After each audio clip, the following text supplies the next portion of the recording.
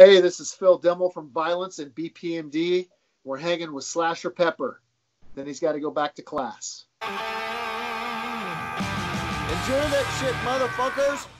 Hey guys, Slasher Pepper here. Welcome to another video. Today I'm going to be interviewing Phil Demmel, uh, ex-guitarist from Slayer. Or, damn it, you were at Slayer once though. Mach- ex ex-guitarist from Machine Head and currently in Vio-lence. So uh, how are you doing? Good, good. Yeah, it's uh, I'm in the midst of trying to figure out how to open my bar. Um, we, me and the wife own a bar, and so with the all the craziness that's going on right now, we need to figure out how we can bend the rules or try to find a way to, you know, be outside. Or it's it's pretty confusing right now with all the rules. So. Right, for sure. Yeah, it's it's kind of confusing what you can and can do. So, um, what kind of bar is it? I didn't know um you had one. Yeah, yeah. It's s- it's a sports bar, kind of a rock bar. We've got a bunch of screens and we show a bunch of sports and uh, just a neighborhood bar. Um, yeah, it's it's hard because they're allowing restaurants to be open, but not bars. So I don't. There's not really much of a difference in my eyes. Or they want us the bars to serve food. You can be open if you ser- serve food, and that doesn't make sense either. You know. So we're just waiting it out, let this craziness kind of subside. Right, right. Um, so do you have any new projects in terms of music or anything else coming up? Uh, yeah, Vio-lence is recording. Uh, we're actually doing something kind of cool this week. Uh, we're gonna do like a something kind of special that should be released within the next couple months. But we're recording, gonna record a new EP, a new five song EP, and uh, excited about that. So we're writing that, kind of jamming that out. I've been doing these collab jams with uh, a bunch of just random musician friends of mine doing you know songs that I like from the past. Thin Lizzy, Michael Schenker Group, Black Sabbath, you know, Van Halen, Dead Kennedys, a bunch of bunch of fun stuff. So it's been fun getting those together and doing doing them. That's great. Awesome. Sounds good.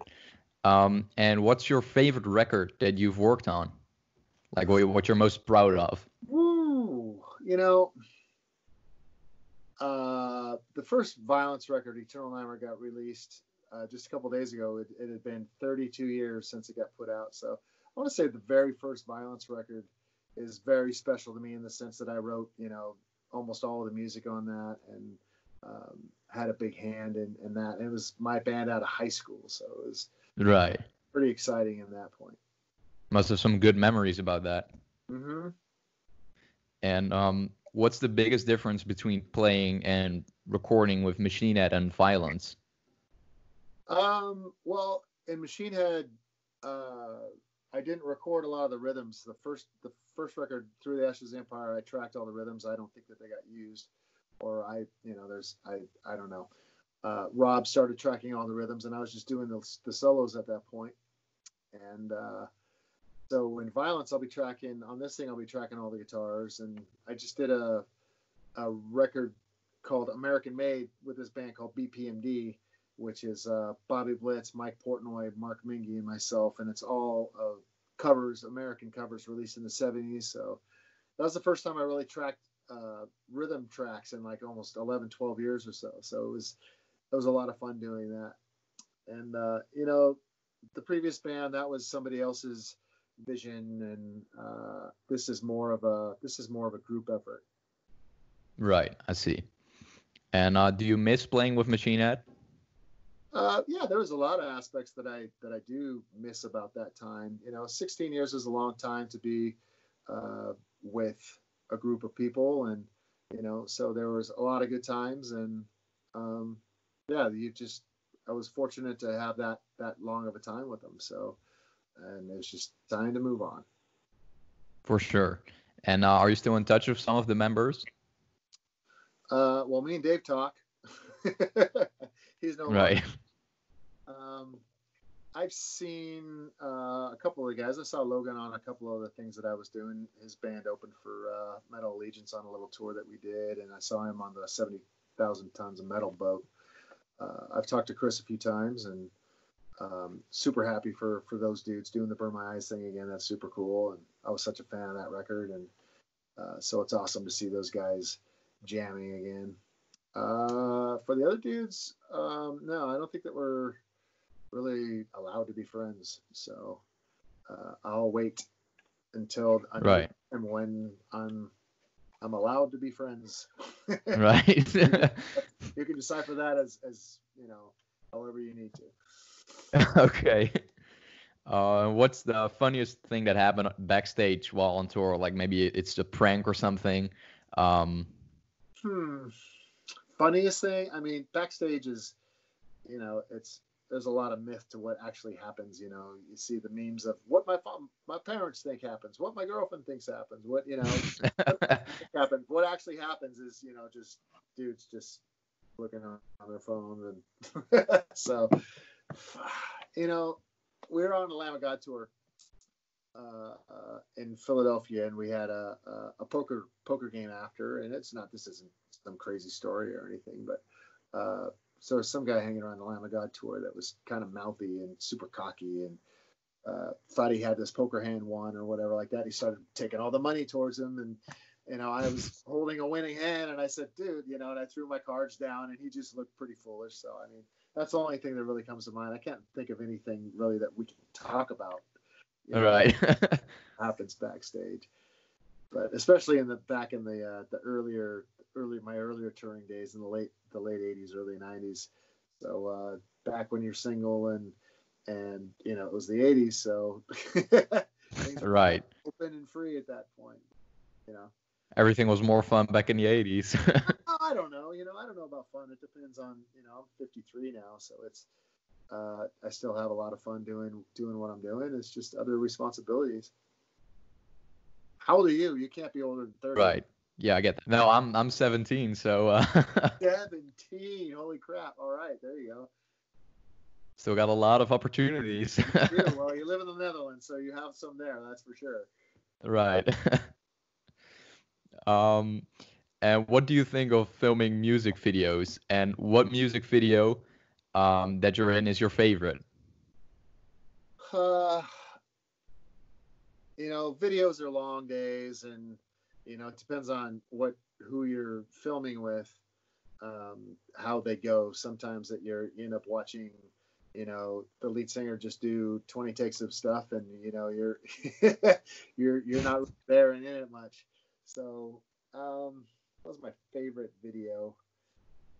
Uh, we did a uh, I'll just say the, the the first Vio-lence video. That was my first taste of being in a video, and it was a live performance. So there's some crazy, you know, we had a kid with a helmet cam going on, and um, a lot of fun.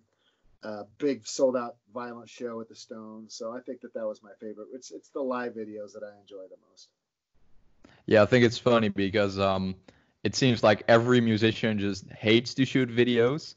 Yeah. Um, but I'm but I'm currently in um, in film school, and our teachers sometimes film film like um, music videos, and when Uh-huh. they get the chance to do that, are so excited to do it, and the musicians just hate to do that. I feel like. Uh, Yeah, they yeah there is. I mean, we're we're actually going to film one this Friday, uh, and so it should be fun. I think that it's going to be, you know, not a big drawn out thing, and it's going to be fun. We're going to film it down at my bar, and uh, so I'm not going to say what it's for, or, you know, any of that yet, because it's kind of a secret.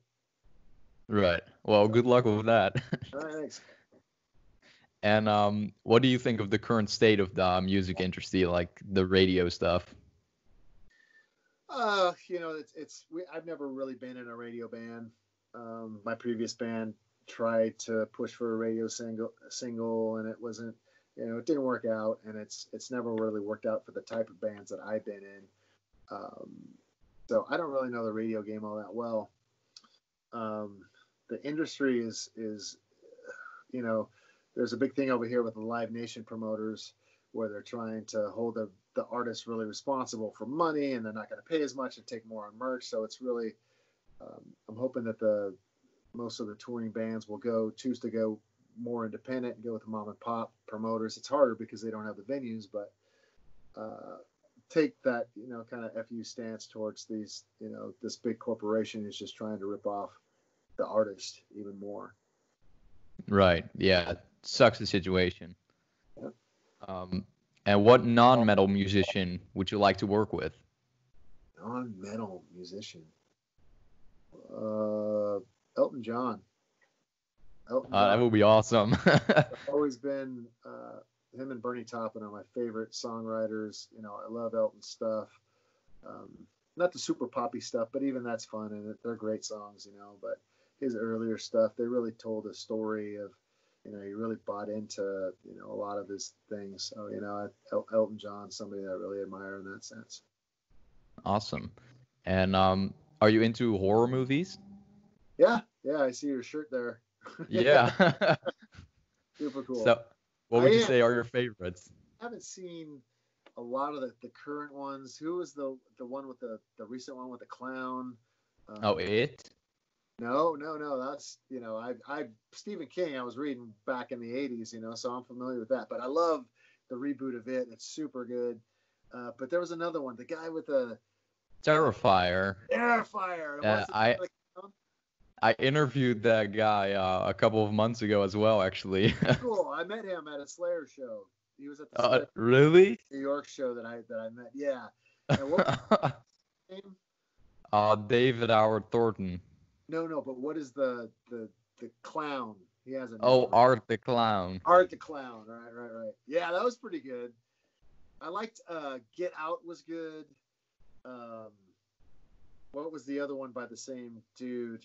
It was in Santa Cruz, California, where they uh, the family and they they duplicate the family and. Oh, um, you mean us? Us, yeah, that was good. Right. so so I you know my my favorites are, are all the classics because I saw them when they come out. I saw the original Halloween when it came out. I saw the the original Friday the Thirteenth when they came out. So, uh, but the Halloweens are are really good. Right, for sure, sure. Um, is there anything you would like to add to the interview? Uh, no, that's it. I mean, uh, my YouTube channel, I've got all my uh, my kind of collab jams are all up there. I've got uh, the Vio-lence thing is coming out. The BPMD record is uh, out now. It's available now, called American Made on uh, Napalm Records. So uh, check all that out. We got something new coming from Vio-lence. We're doing a little video that's a little album teaser that's going to be coming out too. So, you know, once all this gets lifted and we're able to tour again, and I'll be doing something pretty soon. You know, coming out to the Netherlands, I'm sure. Awesome. I'll be there. All right, man. Get back to school. Thank you guys so. Sorry. you, oh, it's the summertime, so you're not you're not in school anymore. Right? No, no, no. well, it's almost over. It's I think like two more weeks now. All right, very good. All right, right thank you guys. It's good to meet you, man. Yeah, yeah for sure. All right, be good. I've waited this long. Hell no longer awaits.